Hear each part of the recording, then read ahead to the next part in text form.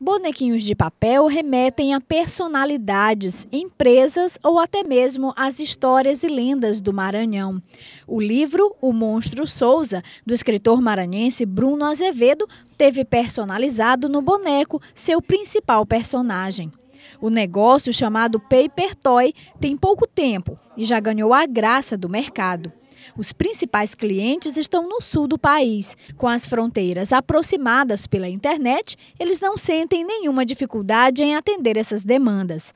Nesse momento, o empresário investe no mercado nacional, mas já busca capacitação para focar além das fronteiras nacionais. É, eu acho que falta ainda divulgar um pouco mais para que seja conhecido. Que a partir do momento que ele seja conhecido, eu acredito que tem uma maior valorização. O mercado internacional tem crescido no Maranhão.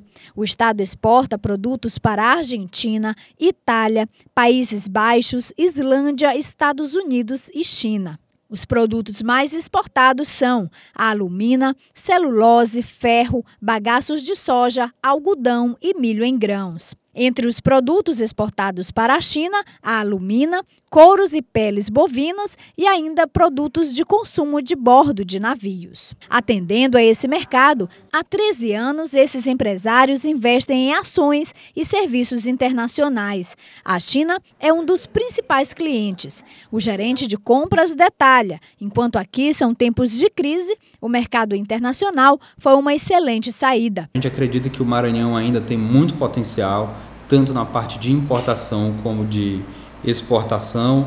É, principalmente na parte de exportação, nós temos muitos produtos interessantes e o que a gente busca é até desenvolver essa cultura de exportação para que o nosso mercado possa cada vez mais atrair mais investidores estrangeiros. O principal requisito para exportar um produto é a capacitação.